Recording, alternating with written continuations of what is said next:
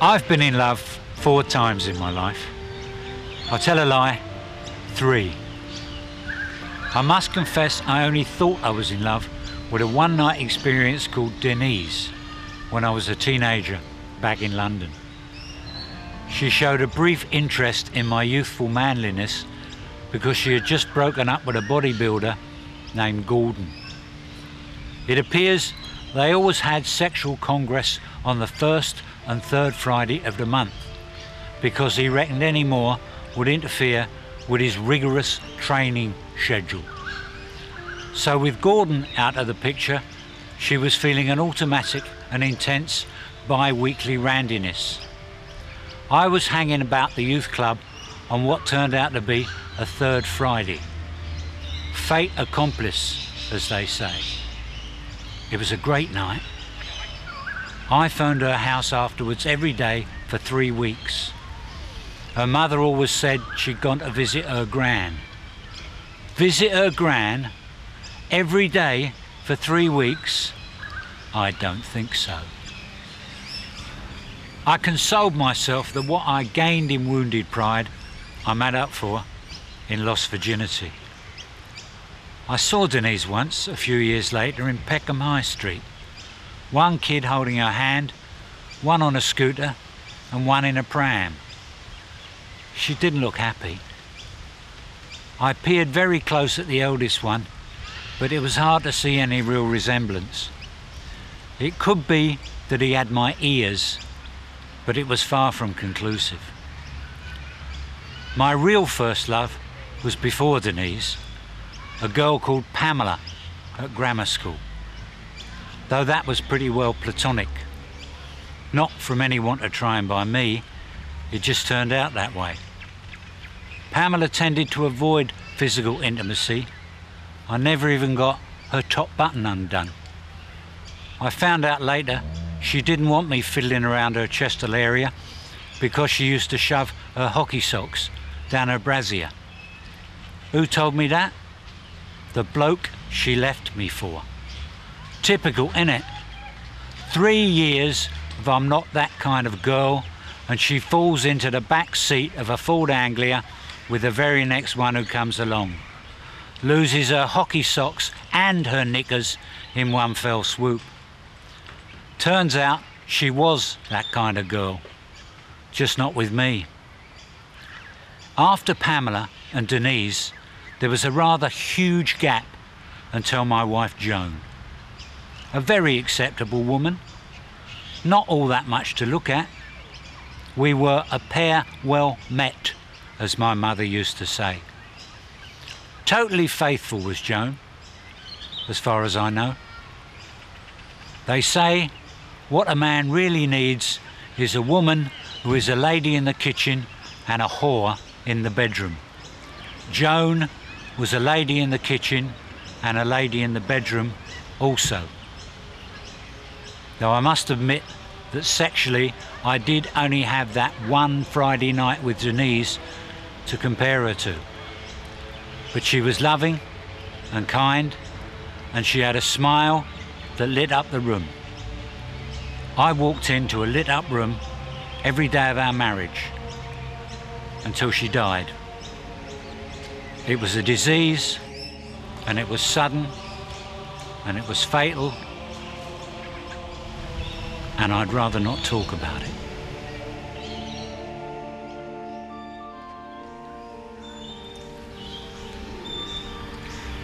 The only bright spot was the funeral. I loved the funeral. I was like the co star. It was the first time I'd ever been so much the centre of attention. I mean, in truth, Joan was the focal point, but I had the advantage over her of being alive. Such a pity it poured with rain all day. The forecast had said there would be sunny periods, but they did not eventuate. Still, I suppose the weather helped to create a suitably funereal atmosphere. What it also created was mud, which is why I fell ace over tip climbing into the limousine and skidded flat on my back into an open grave. It's thoroughly unpleasant down there, I might say. I've left it in my will to be cremated. I don't want to go through that again. I did a bit of damage to my lower spine, and it's been giving me jip ever since. A large number of sessions with a physio named Zoe, a woman with liquid blue eyes and tiny but firm breasts, did little to improve it. The only good thing was that my dodgy spine got me offered early retirement. Took it like a shot.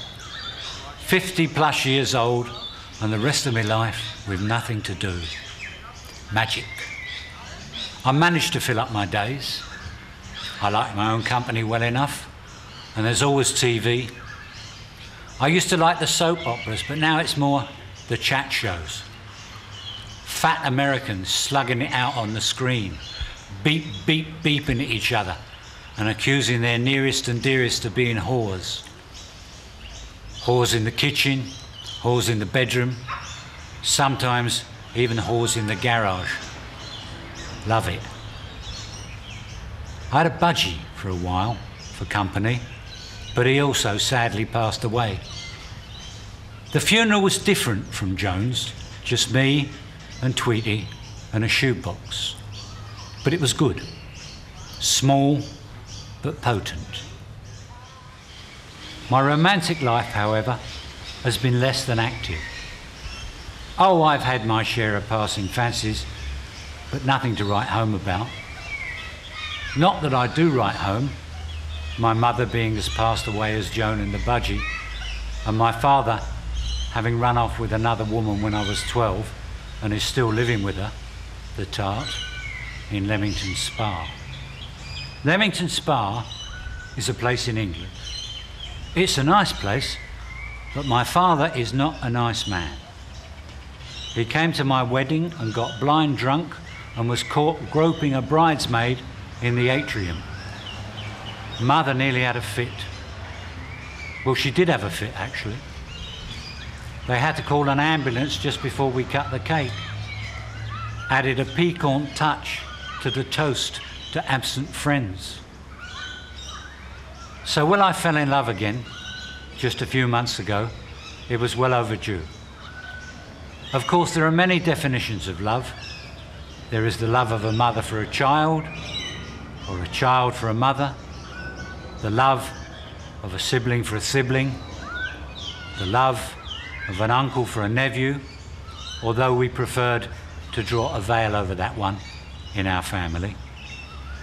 My love for Elizabeth, however, is the straight, romantic kind. Love pure and simple lightly intertwined with a soup spoon of lust. I first met Elizabeth, well, I first saw Elizabeth at the supermarket. Woolies, Sunday afternoon, April the 7th, 12 minutes past two. I know because I was glancing at my watch when I caught sight of her out of the corner of my eye. She was carrying more bags than a person of her stature ought to. Although women are amazingly strong when it comes to humping shopping bags, ask them to change a tyre or shin up a drain pipe, and they come over all weak and feeble. But for women, shopping is work and play all rolled into one. Cannot fathom it myself, but then I'm a man. Beast of burden, different mindset altogether as indeed nature intended. Some men criticise women and their shortcomings as though they were somehow an inferior species. Not me. I love them. Women are soft and bumpy and cuddly and smell nice. I realise there are other good and practical things about them. I'm not sexist. But the soft and bumpy and sweet and smelly bits are quite enough for this satisfied customer. The reason I emigrated to Australia in the first place is because I had seen pictures of the beaches with shots of the sun-tanned, nubile female creatures in various relaxing and athletic poses. My sister Linda was here already. So I came on what used to be called the Family Reunion Scheme. She lives in Queensland. Doesn't speak to me anymore for some reason I cannot figure out. But I'm glad I came here. It has given me a hobby in the summer, roaming around Bondi Beach or Balmoral or even Cronulla. I make a day of it and take a cut lunch. I've got this really funny t-shirt that reads, I'm a pervert, what's your excuse? It makes the girls laugh. Not often, but it did once. If you set your camera pointing away from the beach, but put a mirror next to the lens, you can photograph girls without them knowing and without them staring at you in that snotty way. Just a little technical artifice I thought I would share. But these young women, even the topless ones, are just passing fancies. I knew right away Elizabeth was the real thing. We started stepping out together, a man and a woman about town. And I began to photograph her, of course.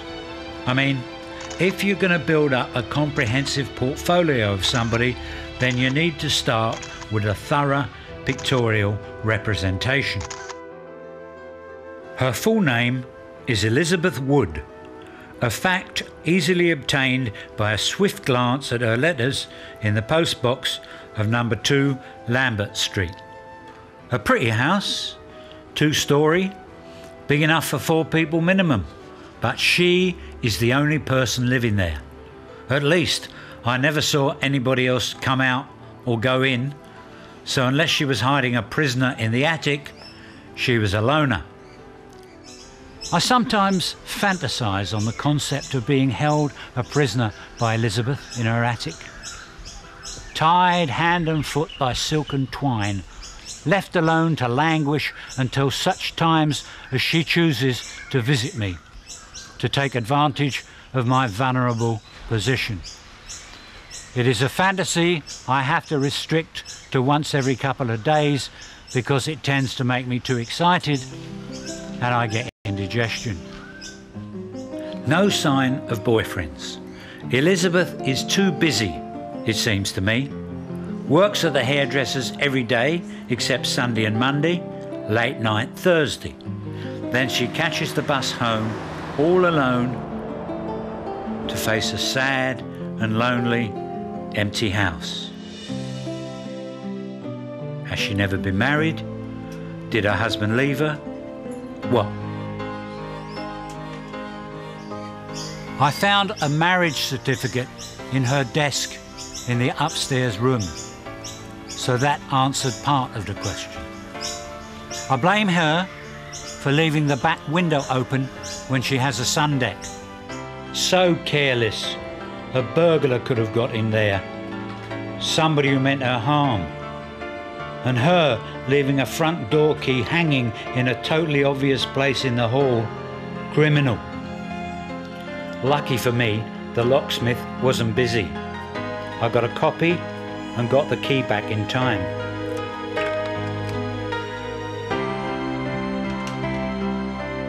Then the pieces of the jigsaw all fell together. I found her husband's death certificate. A tragedy in such a young man. Same condition as Joan. Never mind.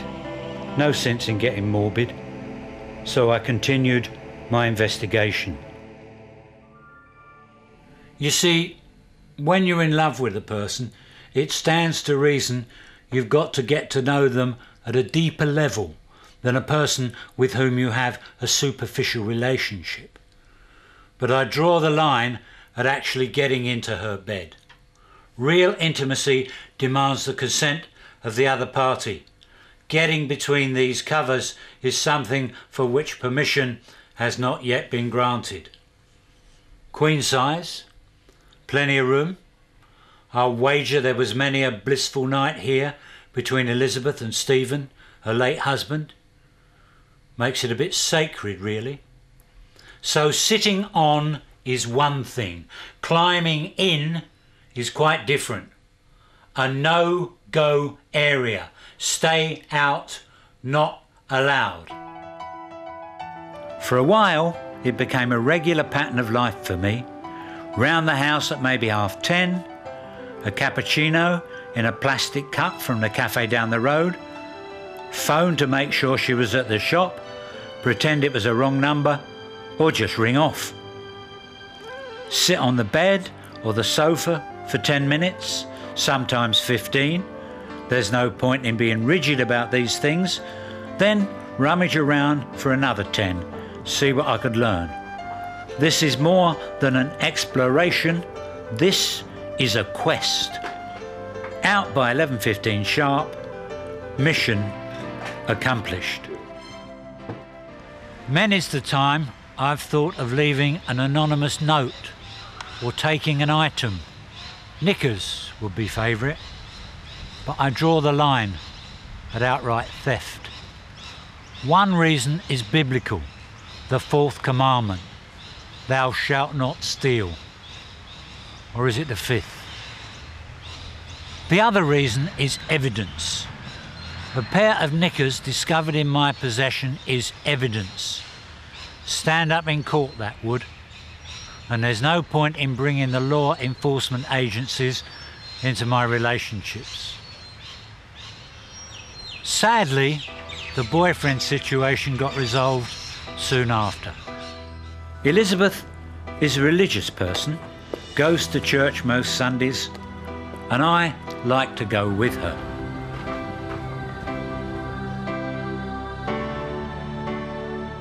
I wait outside, of course, being I'm an atheist.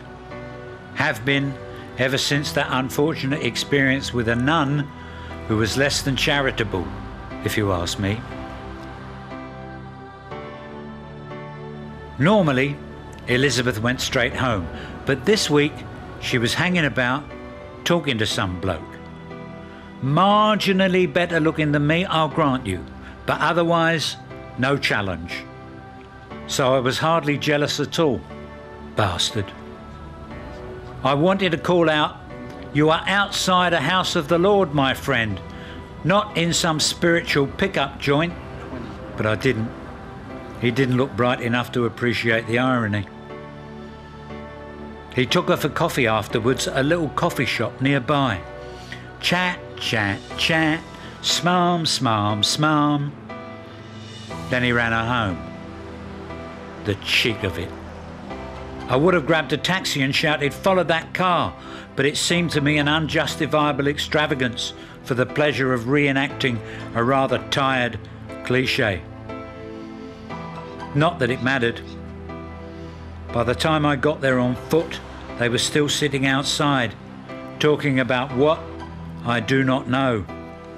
But I'll bet it wasn't about Jesus.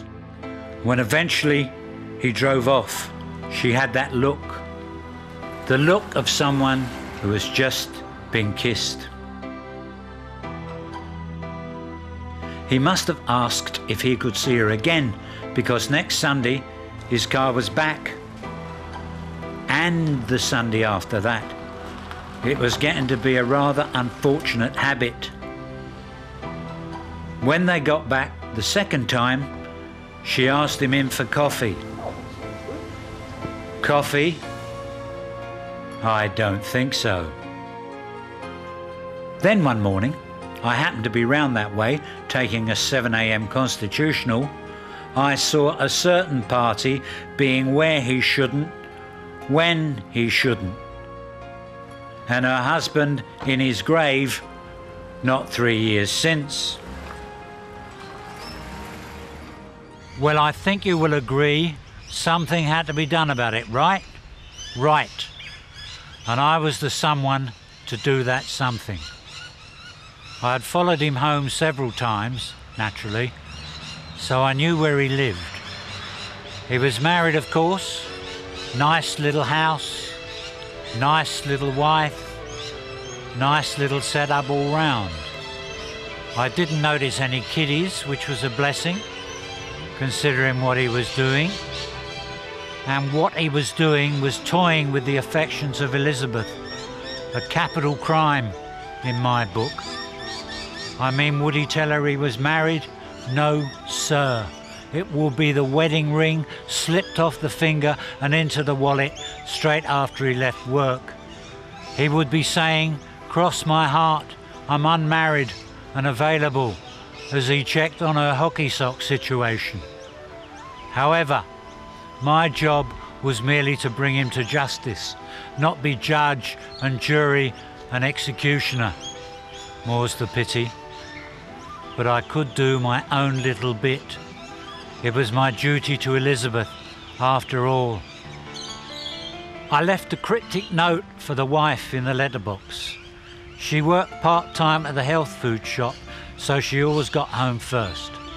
Capital letters, of course, cunningly disguised handwriting, written with a pen I stole from the bank and threw in someone else's wheelie bin straight after. It read, Away on a business trip last weekend? Innocent? I do not think so. My advice is that you check on his story. Ask him about a certain data processing operative at his office. Signed, a well wisher. His visits to Elizabeth's place stopped straight away. Soon after, on her way home from the shop, I could see that she was crying. Had he told her it was all over? How I longed to take her in my arms and hold her close to me and say, Never mind, time is a great healer. And she would rest her head on my chest and sob as though her heart was breaking.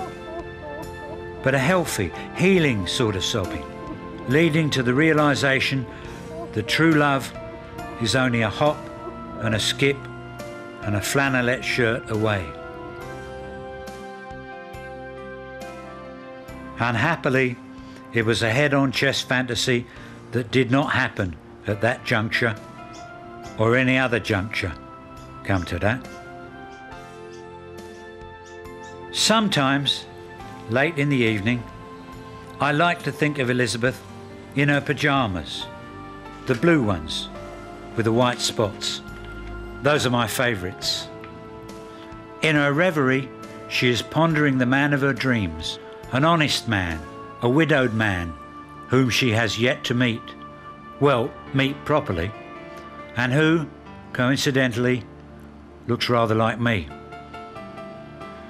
But now the picture has changed, changed to the satisfying scene of a married man battling out with a suspicious wife, at pains to figure out why she thinks he is being unfaithful with a data processing operative, but still unable to explain why he was not on a so called overnight business trip.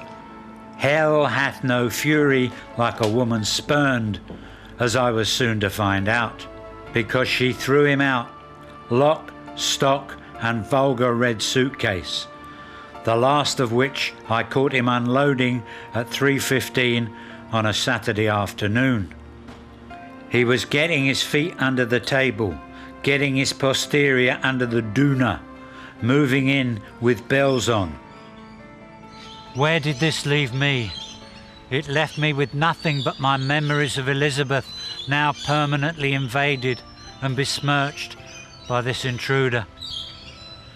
Needless to say, my daily visits to the house have tailed off somewhat.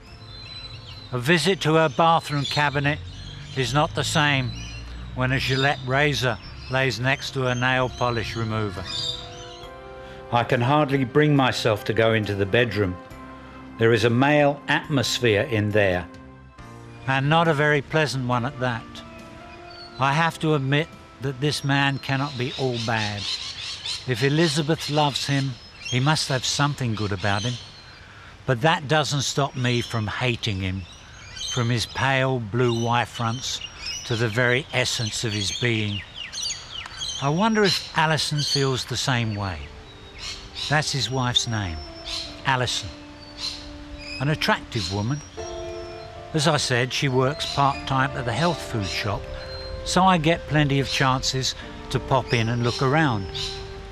I don't want you to think I'm fickle, but a man has got to take his chance where he can. According to the correspondence from the lawyers, the divorce will be through soon. It should be clear cut, without children to clutter it up, which means Alison will soon be free to spread her wings, so to speak. And I'll be there when she needs me, that's for sure. So I was right before. It makes four times I've been in love.